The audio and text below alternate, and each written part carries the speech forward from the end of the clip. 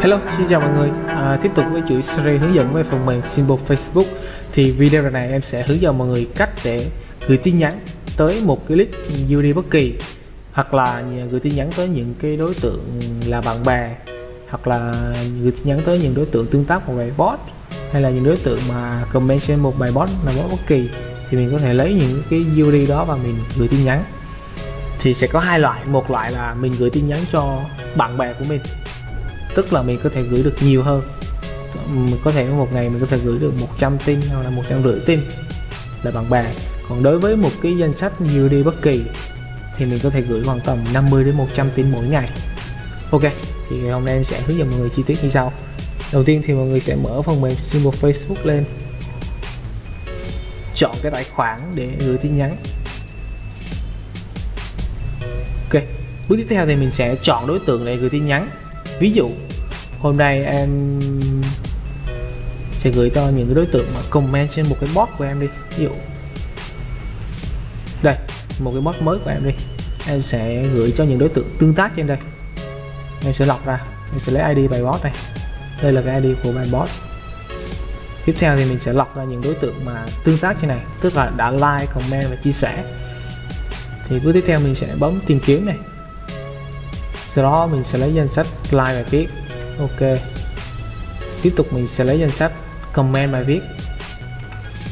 Và cuối cùng là danh sách like. À danh sách uh, chia sẻ. Ok. Sau khi đã lấy xong thì em sẽ lọc trùng. Tại vì có những đối tượng có thể là họ đã comment và họ like thì trong danh sách này sẽ bị trùng. Ok sau khi là trùng thì em sẽ còn 39 người. Em muốn gửi tin nhắn tới những đối tượng này tự động thì em sẽ thực hiện thao tác tiếp theo là thao tác gửi tin nhắn. Ok đây là danh sách 39 người. Thì mọi người có thể lọc trước ví dụ như là em à, không gửi cho nhân vật này đi hoặc là nhân vật này. Đó thì em có thể loại bỏ thì sau đó em bấm gửi tin nhắn thì nó sẽ loại bỏ ra hai cái đối tượng này. Ok tiếp theo thì mọi người soạn nội dung tin nhắn. Mọi người có thể copy một cái nội dung bất kỳ mọi người đã soạn sẵn hoặc là mọi người có thể soạn trực tiếp ở trên này. Ví dụ em sẽ chọn nội dung là uh, cảm ơn. A còng nem a còng nem sẽ tương ứng với tên người dùng.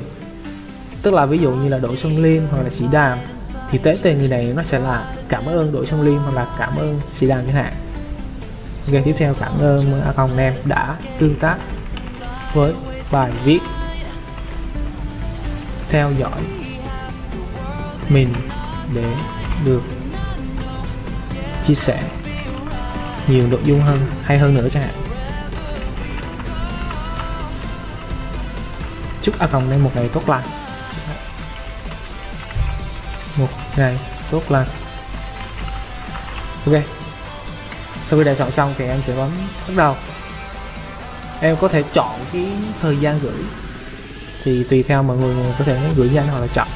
Thì nếu mà mình gửi chậm hơn thì mình sẽ gửi được số lượng nhiều hơn. Và kèm theo a còng nem này. A còng nem thì a còng nem thì cái nội dung mình gửi tin nhắn đi nó sẽ được thay đổi liên tục. Thì mình có thể được gửi được nhiều, tức là nhiều người hơn. Thay vì là mình để một cái nội dung bị trùng. Thì Facebook nó sẽ báo cáo spam ok sau khi uh, xong những cái thao tác này thì mọi người sẽ chờ chờ cái phần mềm này gửi thôi. Vậy như vậy là em đã hướng dẫn xong. Mọi người cách để gửi à, gửi ờ, tin nhắn tới một cái uh, đối tượng là bạn bè hoặc là những đối tượng tương tác trên một bài viết. Tiếp theo thì em sẽ hướng dẫn mọi người cách để gửi tin nhắn tới một cái list uh, tức là một cái danh sách UD bất kỳ. Ok ví dụ như là em sẽ lấy một cái danh sách UD nào đó đi. Em sẽ quét một cái bạn của người này đi. Ok, người này đi. Người anh nhận bạn em không lấy được.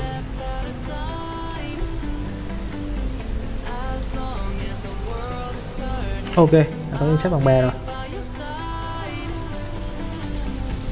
Sau khi quét xong thì em sẽ lưu danh sách này lại. Lưu file UD này file test gửi tin nhắn. Ok cái file này khá nhiều.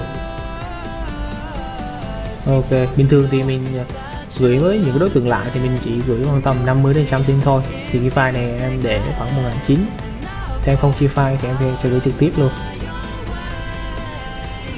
Đấy, em sẽ chọn tài khoản cần gửi này. Em sẽ mở cái file những thua có những đối tượng mà em cần gửi file test gửi tin nhắn này.